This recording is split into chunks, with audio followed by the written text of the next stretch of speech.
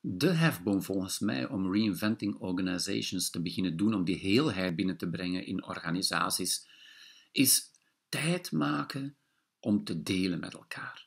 Vertragen, tijd maken en een moment voorzien, dagelijks of wekelijks, wanneer je met je team samen bent om te delen. Je deelt iets rond een bepaald onderwerp, je deelt iets vanuit je eigen ontwikkeling, je zegt je gevoelens, je zegt je meningen en we luisteren naar elkaar. We luisteren zonder te debatteren, zonder te argumenteren, zonder besluitvorming. We delen gewoon. Delen zoals we doen op internet eigenlijk.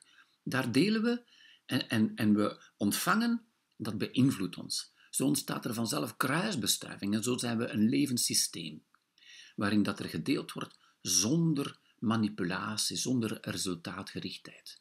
Die, die vertraging, die, die, dat laten zijn van de dialoog werd enorm helend.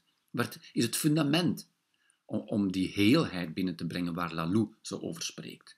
Dat verschilt van taakgerichte vergaderingen met agendapunten waar men achter tafel zit en waar men probeert tot besluiten te komen. Maar het verschilt ook van briefings en debriefings of koffieklets waar we gezellig samen zijn. In dit soort bijeenkomsten waar ik het over heb, wordt er gedeeld op een systematische manier, zonder tafels. We zitten in een, in een soort cirkel. En we gaan eigenlijk onze meningen, onze gedachten uitwisselen. Niet meer dan dat. Dat is zo patroondoorbrekend om te doen. En ik merk dat het zo moeilijk is. Voor mij is het idee heel eenvoudig. Daar gewoon aan beginnen, dagelijks of wekelijks daar tijd voor maken.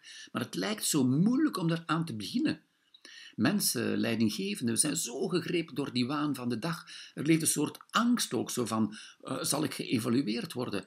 Uh, mag ik hier mij kwetsbaar opstellen?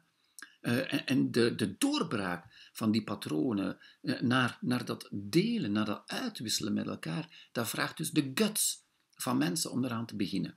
Het, is zo, het idee is zo eenvoudig. En toch blijkbaar zo moeilijk om, daar, om daaraan te beginnen.